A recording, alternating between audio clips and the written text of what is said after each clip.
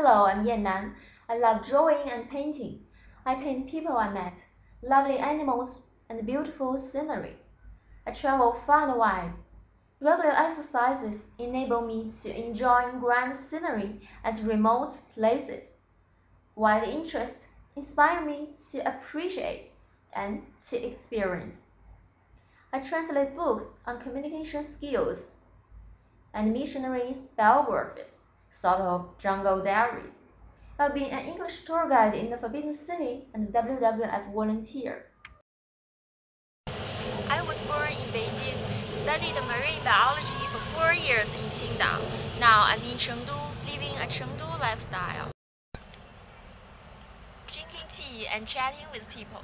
That's what I was doing when the big earthquake hit. But I'm not afraid. Taking adventure is my life.